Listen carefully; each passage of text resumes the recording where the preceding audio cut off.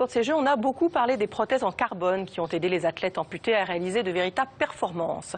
Ce qu'on connaît moins, ce sont tous les équipements mis au point pour permettre aux personnes handicapées de faire du sport pour le plaisir. Alors on s'est rendu dans une entreprise de Saint-Étienne qui fabrique du matériel handisport pour la randonnée, mais également pour la natation ou le ski.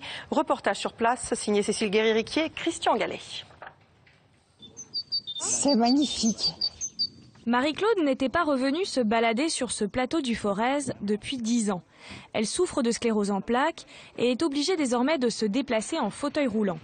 Elle regrettait de ne plus pouvoir se balader en pleine nature. Grâce à cette chaise à porteur, elle redécouvre les joies de la randonnée. J'ai fait beaucoup de marches en, montagne un peu, mais tout ce qu'on peut faire, qu'on faisait avant, puis qu'on peut encore euh, avoir les mêmes sensations plus ou moins, puis besoin de marcher, non. Solidement attachée à son fauteuil, Marie-Claude profite du paysage avec le même point de vue que ses amis de randonnée. Une balade de 3 heures entre montagne et forêt, organisée par les bénévoles de l'Association des paralysés de France. En fait, ce- ces sorties nous permettent de faire redécouvrir ou découvrir à des personnes qui étaient plus en capacité de, le faire en fait seules, euh, bah, les plaisirs de la randonnée, soit en montagne, soit dans la plaine, euh, parce qu'on a une grande plaine du forêt, euh, qui est plus facile pour les accompagnateurs puisque c'est très plat, euh, et ça nous permet de rendre un petit peu de, liberté en fait aux, personnes qui avaient perdu du fait de, de leur handicap. Ce drôle d'engin, spécialement conçu pour les personnes handicapées, est né dans cette usine de Saint-Étienne. À l'origine, cette entreprise fabriquait des tubes métalliques pour l'industrie.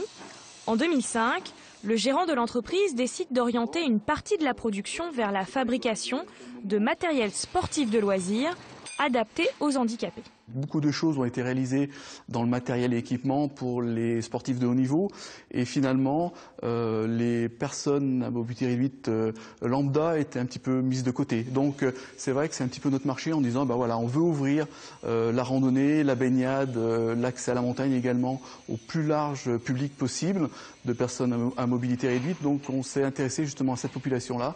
Après le fauteuil de randonnée, l'entreprise a fabriqué ce fauteuil pour le ski.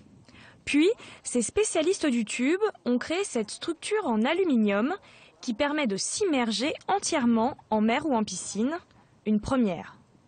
On voit que sur le dossier sont plantés les deux fameux tubes qui en fait rehaussent pour euh, accueillir le toit amovible.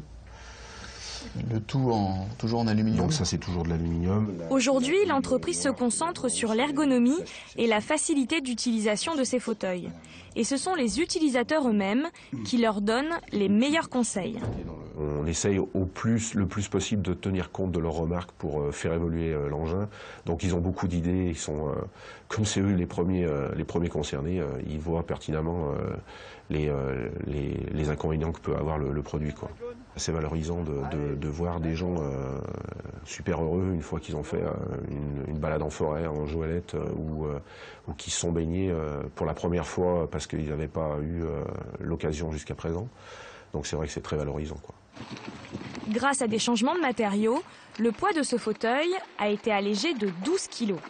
Et pour rendre la traction plus facile dans les montées, un petit moteur électrique doit bientôt être installé.